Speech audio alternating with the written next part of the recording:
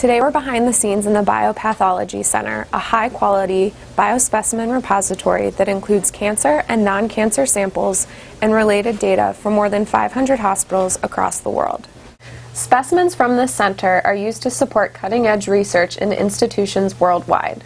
On a daily basis, the Biopathology Center receives between 80 and 100 FedEx packages containing over 1,000 pediatric and adult cancer samples from hospitals across the country. After the samples are unpacked, they are entered into a detailed, secure database. Tissue samples are prepared for digital microscopy and shared with other national experts using a virtual microscope. Some samples are carefully categorized for storage in a liquid nitrogen freezer, while others undergo clinical testing to help make vital cancer treatment decisions. The Biopathology Center at the Research Institute is working to diagnose cancer and guide treatment for children in our community and throughout the nation.